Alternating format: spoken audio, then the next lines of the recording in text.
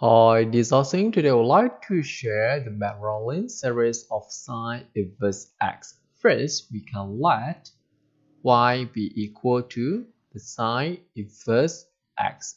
In other words, x is equal to sine y. We can differentiate x with respect to y and obtain cos y. But what we want here is to differentiate y with respect to x. In other words, we just have to take the reciprocal of both sides. Recall that for the trigonometry identities, we have cos square y plus sine square y is equal to 1.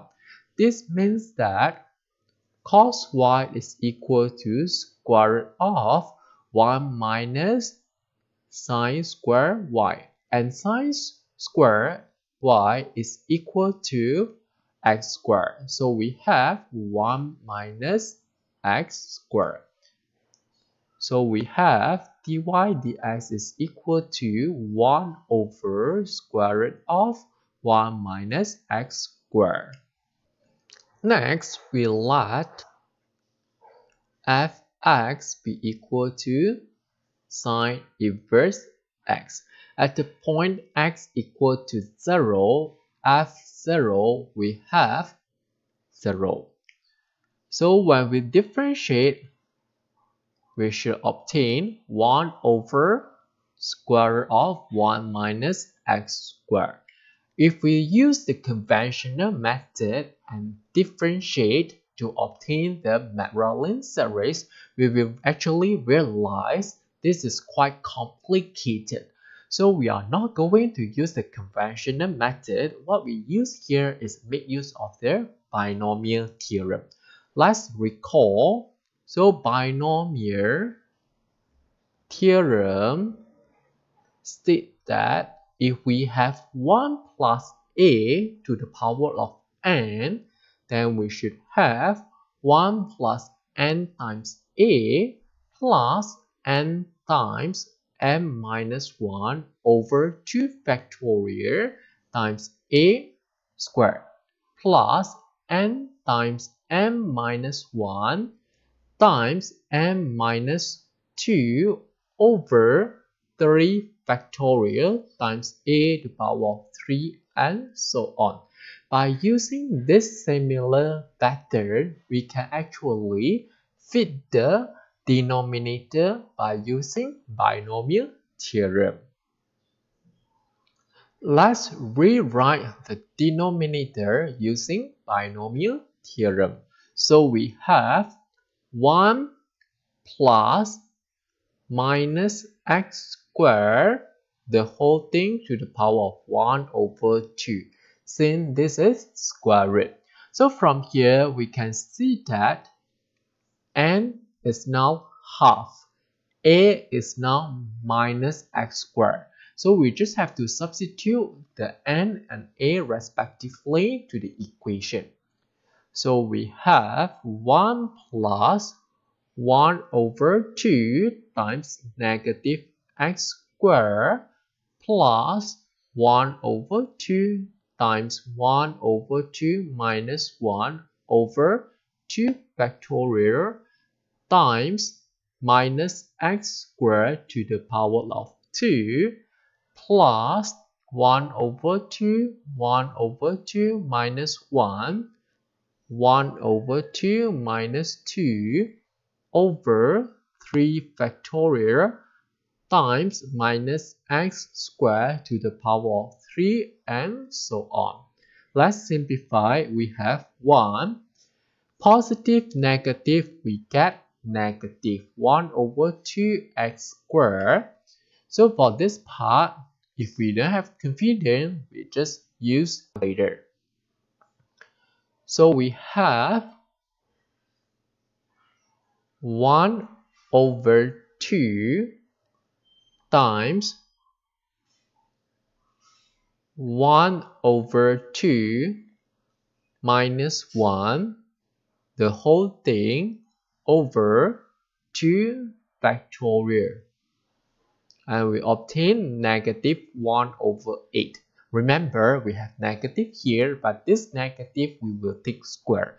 So means that won't change the sign of this. So remain negative 1 over 8. x 2 square. So we have 4. Then next we have, okay, we can change, make use of this that we previously entered. So this supposed now to be 3 factorial. And we have to times another term 1 over 2 minus 2. So we obtain 1 over 16 positive. Again, we have negative here, negative to the power 3, so remain negative. Negative, positive, we have negative. So negative 1 over 16 x squared to the power 3. So 2 times 3, we have 6. And so on. So from here, we can actually see that this, the first derivative of fx is actually 1 over square root of 1 minus x squared, which means that we just have to take the reciprocal of this part. In other words, we just have to apply long division. So we have 1 minus 1 over 2x squared minus 1 over 8x to the power of 4 minus 1 over 16 x to the power of 6 and so on divides 1 since the numerator is 1. So we have, remember for long division we always make sure when we simplify the first term is equal to 0. So in order to obtain 0 we have to take 1 times 1 which is equal to 1. So 1 minus 1 equal to 0. So we continue to times, we have 1 over 2x squared minus 1 over 8x to the power 4 minus 1 over 16x to the power 6 and so on. So we simplify here, 1 minus 1 is 0. So 0 minus negative become plus. Again, plus, plus and so on. So for the second term, we just have to take plus 1 over 2x squared times 1, so 1 over 2x squared. 1 over 2 times negative 1 over 2, so negative 1 over 4 x to the power of 4. 1 over 2 times negative 1 over 8. So we obtain negative 1 over 16 x to the power of 6 and so on.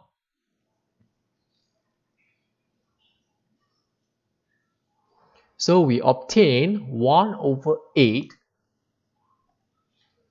1 over 8 minus negative 1 over 4. We have 3 over 8. So we have 3 over 8 here And the next term, 1 over 16 minus negative become plus. So 1 over 16 plus 1 over 16 supposed to be 2 over 16. Then we simplify, we obtain 1 over 8. And so on. So the next term, suppose 3 over 8 x to the power 4. So we have 3 over 8 x to the power 4 positive, negative, negative. 3, 2 times 8 is 16. So we obtain 1 over 8 minus negative. So we have plus or we can type minus negative 3 over 16. So we have 5 over 16. 5 over 16, which means that the last term supposed to be 5 over 16 x to power of 6 and so on.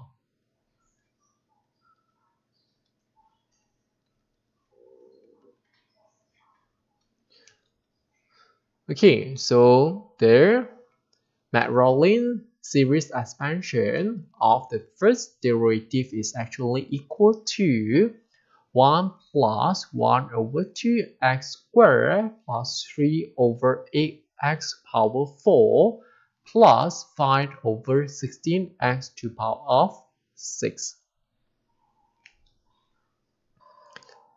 Lastly, let's obtain the Maclaurin series of the sine inverse x.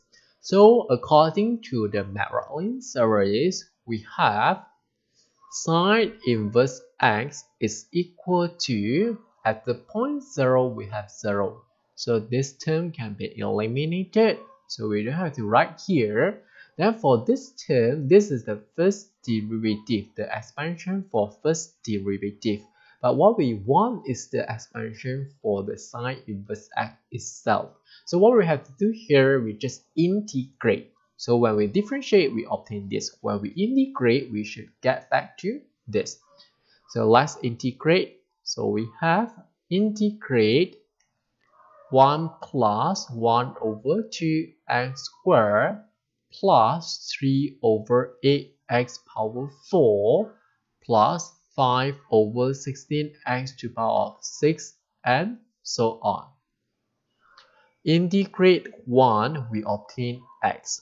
Integrate 1 over 2, we have x power plus 1 over power plus 1. So 2 times 3, we obtain 6. Then we have power plus 1 over power plus 1, which means that we will have 3 over 8 times power plus 1, which is 5. We obtain 3 over 4d. And the last term that we have here, so 5 over 16 times 6 plus 1, we have 7. So 5 over 1, 1, 2. Plus 5 over 1, 1, 2. Then we have x to power of 7 and so on. Then we that. Okay, that's all for today. Thanks for watching. Hope you like this. See you.